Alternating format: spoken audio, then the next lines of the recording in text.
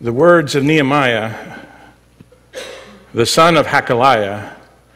Now it happened in the month of Chislev, in the 20th year, as I was in Susa, the citadel, that Hanani, one of my brothers, came with certain men from Judah.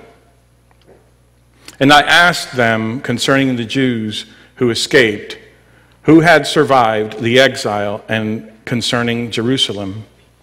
And they said to me, The remnant there in the province who had survived the exile is in great trouble and shame. The wall of Jerusalem is broken, broken down, and its gates are destroyed by fire.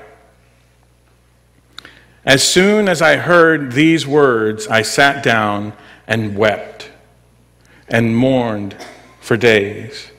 And I continued fasting and praying before God, before the God of heaven. Let's pray.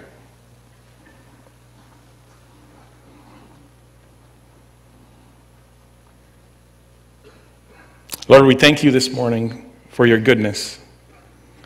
Thank you that your graces, your mercies take shape in, in, in many different ways.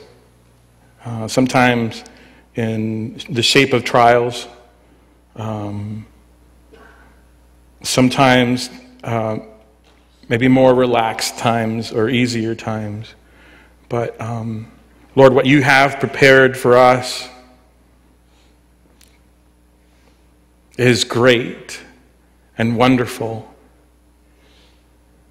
And the adjectives do not describe just how awesome of a plan you have for our life, and that is to shape us into your image.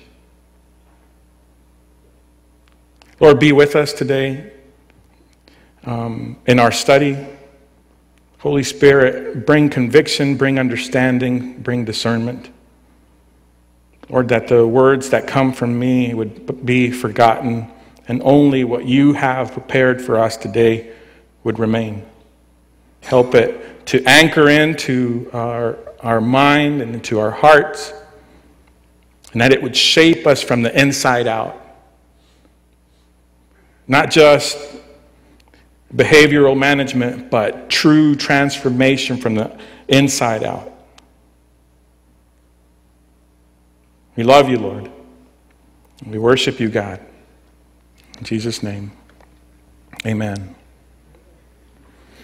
Nehemiah is a book that, um, that many studies have been done on, and anything from the right kind of leadership, the certain amount of steps to the right kind of leadership. Or if you're taking on, like if you're a pastor and you want to build a new wing, uh, you know, let's, let's study from Nehemiah, study that, and, and it'll bring, you know, some understanding on the new things that we're going to take on. And uh, it's been used in many, many different ways. Some of those uh, ways are, are true. There is some truth in the type of leadership that, that Nehemiah um, displays. And he does have a plan, he has execution, he has support.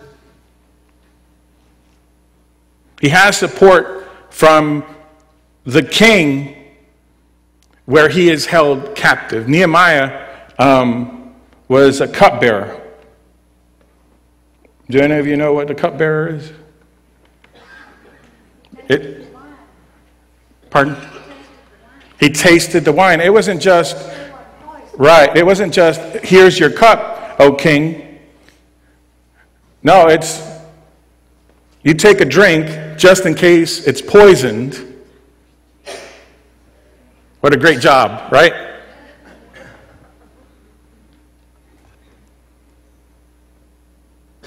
I feel like having a steak. There you go, Nehemiah, have a bite. He had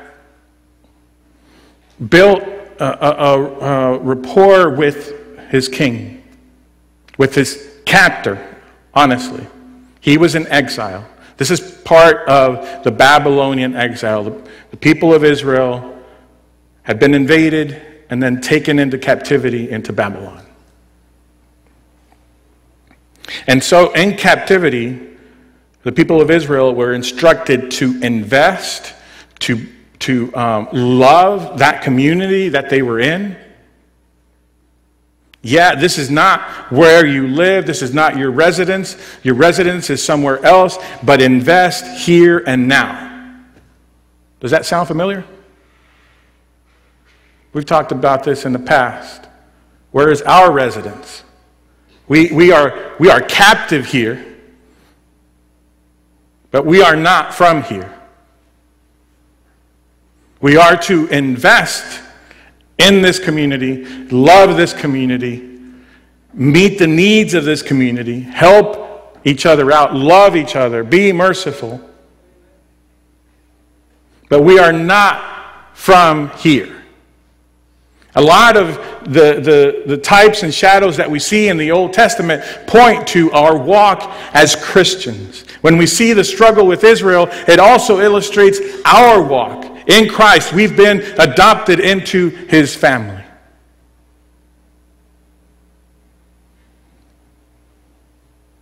But this goes, this story,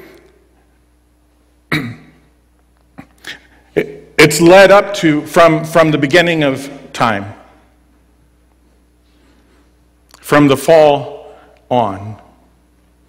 Why did the people of Israel end up in Babylon?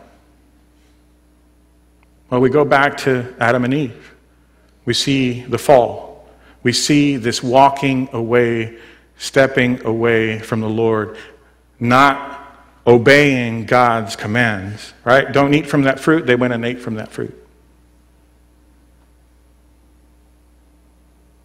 We see it with Cain. There was a certain amount of reverence and an orderly way of delivering your offerings to the Lord. Cain was not obedient and then became jealous because Abel did the right thing and he got praise for it. And because of the jealousy, he murdered his own brother. We see it in Noah's day. The world had become so corrupt. And Noah had been preaching, taking a sip, preaching some more.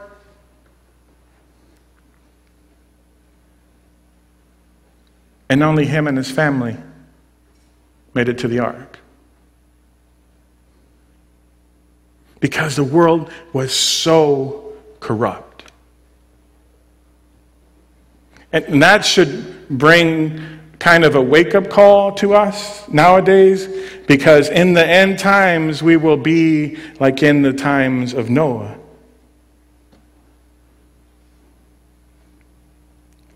Regular life, being consumed by our life, taking into marriage. Um, having kids, doing whatever we're doing. And it was their life in that day, their pleasures of that day were the consumption of their time and their energy. And they could not listen or hear what Noah had to say. And so only Noah and his family were saved. And that was an opportunity, that was a new start. But the brokenness and the sin remain in the world.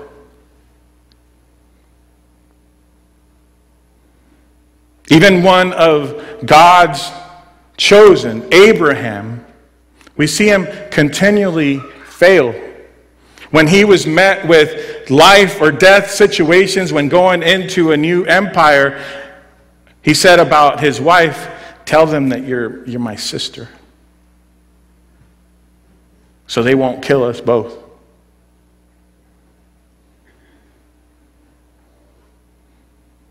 And she is taken by the ruler of the time for some time.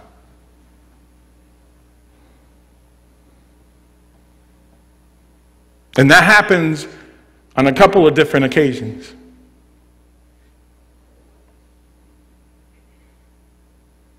We see that with Lot in Sodom and Gomorrah, where he could have stood up for his great God, and instead, him and his family were corrupted by their environment. The culture influenced them. They were spared. They were able to run out of the city. But the connection for his wife and that city was so intimate that she, with care for that city and God's wrath on the city, turns back, even though the Lord's instructions were to not turn back.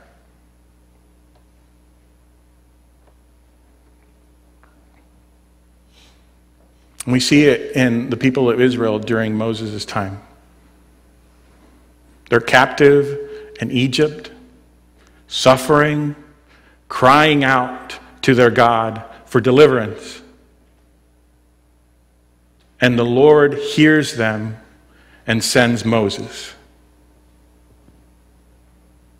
And Moses comes along with Aaron and they lead the people out. After a lot of back and forth between them and Pharaoh, they eventually leave Egypt, cross the Red Sea. They see the, these miraculous things, awesome things. The Red Sea being open, and they walk in dry land. They see these great things. And then they're fed in the desert. daily are being fed in the desert. And they still turn from God. And they turn against Aaron.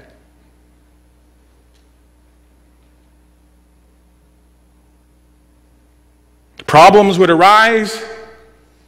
Moses would step in, take care of the problems. There would be peace for some time. And then they'd forget. And problems would arise and then be taken care of again. Some time would pass and they'd forget.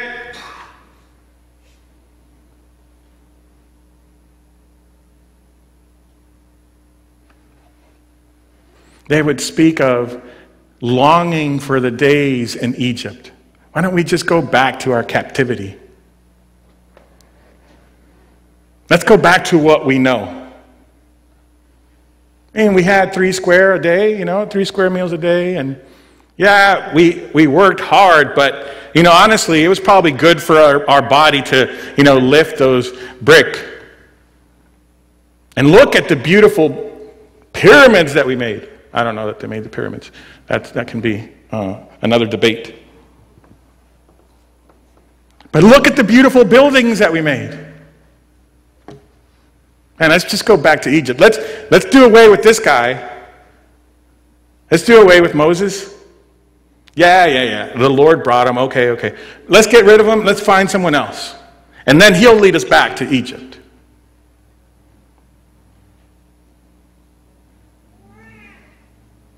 How quickly we forget.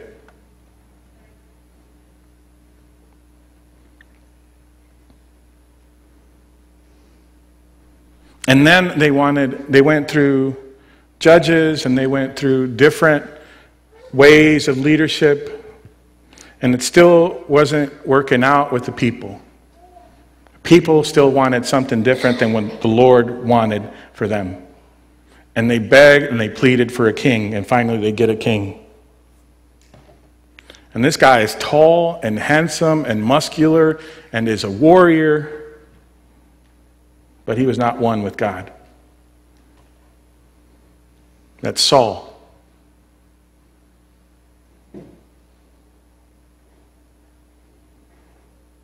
He would deal with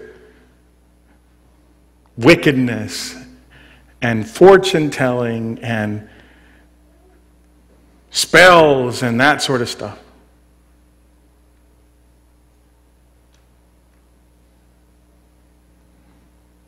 And then he tried to do priestly duties. That was not his job.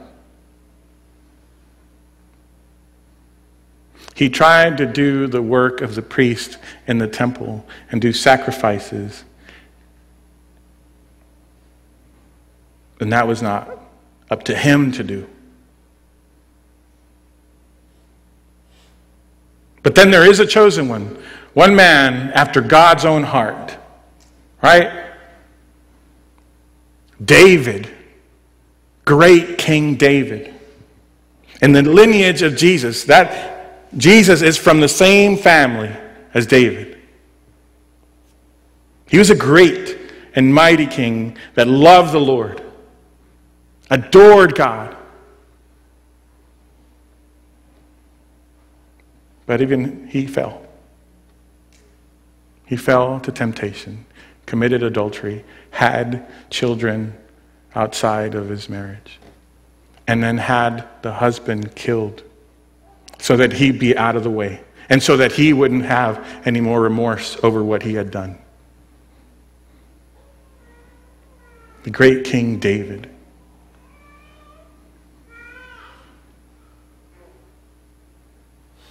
Then we have Solomon, his son. We know Solomon.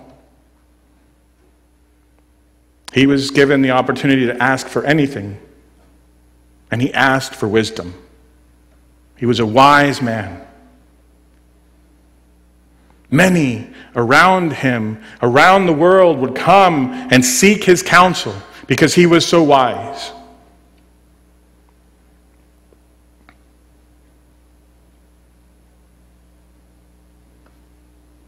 But because he was so wise, he ended up with lots of riches, lots of livestock, animals. Animals displayed your richness.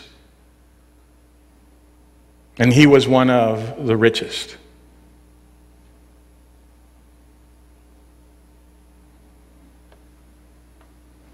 But he allowed himself to be corrupted by foreign women.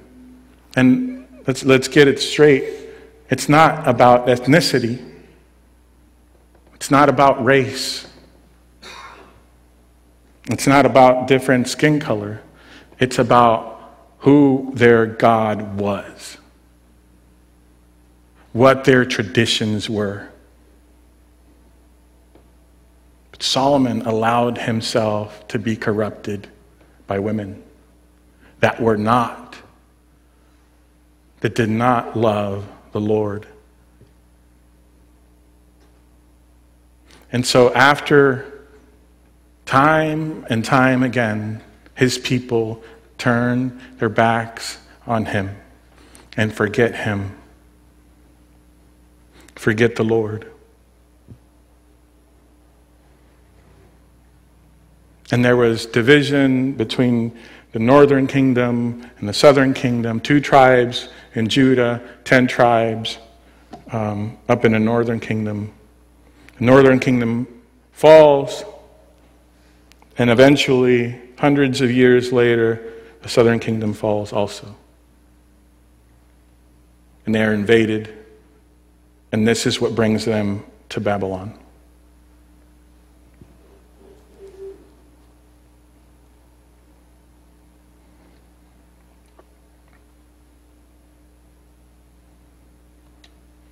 We see time and time again throughout the Bible that the Lord uses ordinary people, broken people, people like us. Are you perfect? I know that I'm not. I'll confess to you right now that I'm not. But if there's repentance and right relationship with the Lord, there can be so many things that we can accomplish through God's direction and His strength, His discernment. We can impact this world for the kingdom of God. It takes ordinary people. But it takes people. We are the hands and feet of Jesus here on earth. He accomplishes his work here and now through us.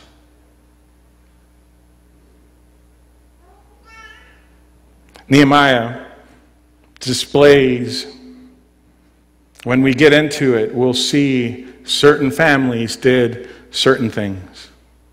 They were in charge of a certain part of the wall. And they're named off. And we, they are some weird names, so when we get through it, please uh, show some grace because I'll probably fumble through some of them. It's not like Joe and, and Bill and Bob and whatever. You know, there's some like 10 syllable names in there that. But the fact that that's recorded, right? These people took on that part of the wall. And these people took on that part of the wall. And these people did the gate. It takes people.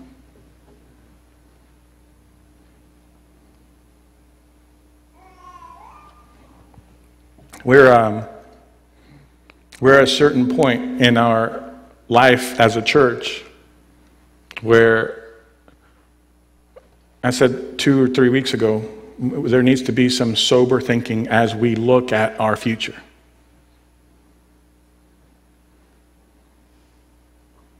What kind of legacy are we going to have?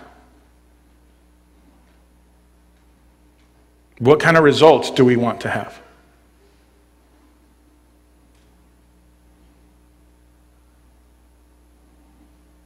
The Lord is at work. God is at work in this community. And there are people that He is working on their hearts and mind, and He is priming them so that we can go to them and have a word with them about our Lord. Certain people will not receive, they will not open the door to you, they will not want to speak of Jesus Christ. But there are others that will. And He is preparing the ground already.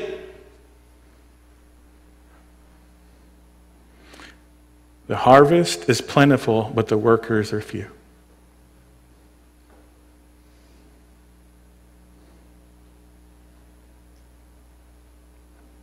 I remember as a kid, and I, I was one of those that wanted to be one of the few. We did, you know, uh, we'd go to Uvalde or the surrounding areas and, and uh, pick onions or, you know, whatever was, you know, the crop at the time. Four in the morning, early, vámonos. And if it wasn't in this area, then we go up to North Texas or go outside of the state. Whatever the crop was at the time, we were going. It's hard work being in the field.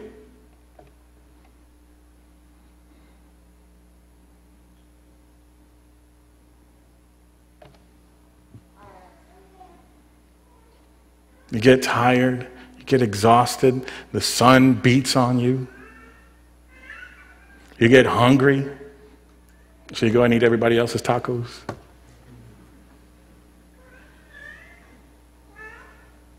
You deal with snakes. You deal with all kinds of stuff. Ants.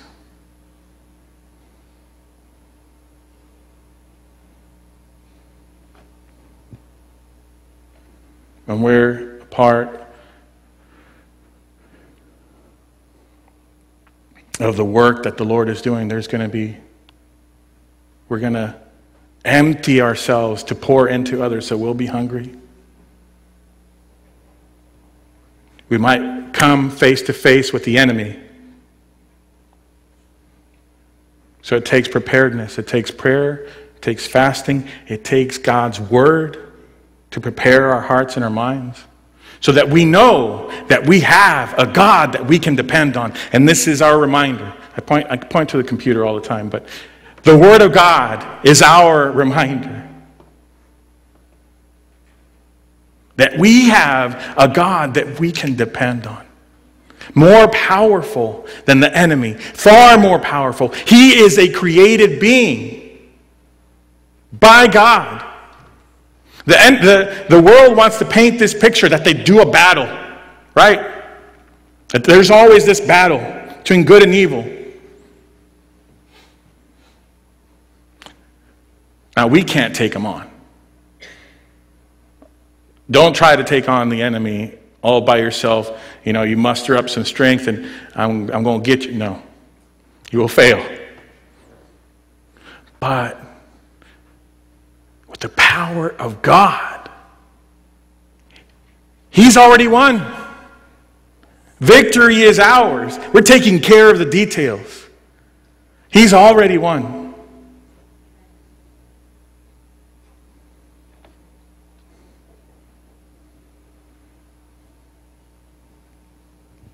It takes prayer, it takes fasting, preparedness in the Word of God. Nehemiah says in verse 4 that when he heard these things, as soon as I heard these words, I sat down and wept and mourned for days. He was moved to tears because of his passion for his city. He was mourning and grieving over his city. That it was torn down and the wall, there was no defenses. So he grieved over his city.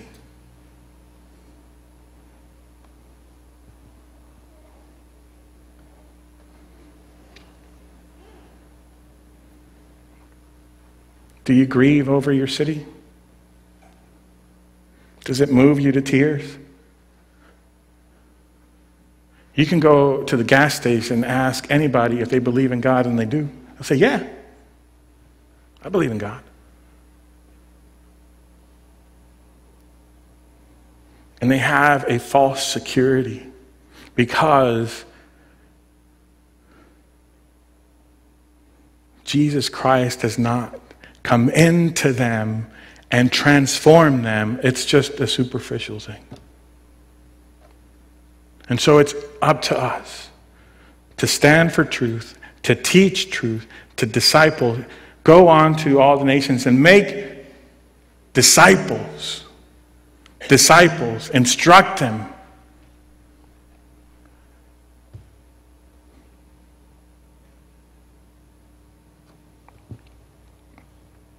When, when the people of Israel were um, right there at the edge of the promised land, they sent in some spies to take a look at the land to see what they saw.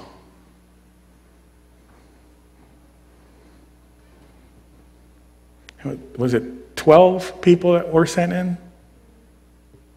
10 of them were like, no way. We're not going in there. There's giants in there. There's humongous ants like that'll eat you up. So I added that in. There wasn't any ants. But there was big creatures, big people.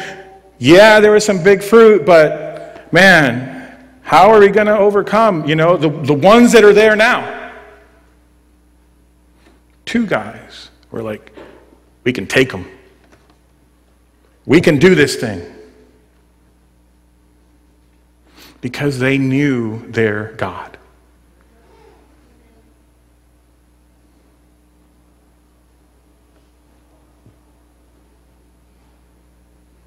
There's obstacles. But don't be overwhelmed by the obstacles. Let the promises of God overwhelm you. He has the victory.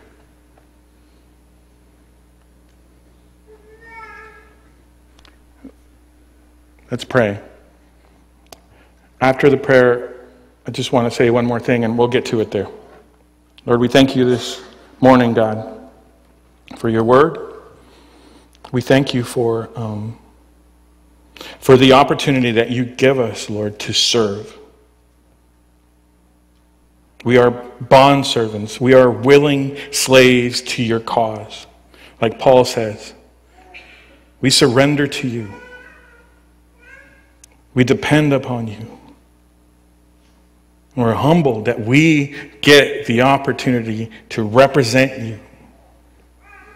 Lord, where we fail, we ask your forgiveness. Give us clarity so that we may continue to grow in our blind spots when we can't see where it is that we fail. Lord, bring correction in a loving way through our brothers and sisters. Help us to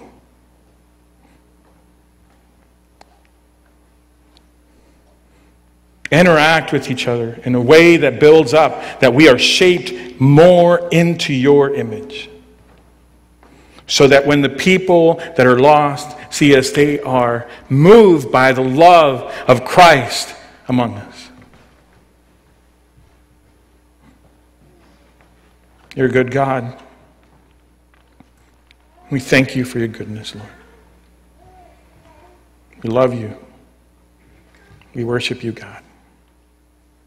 In your name we pray. Amen.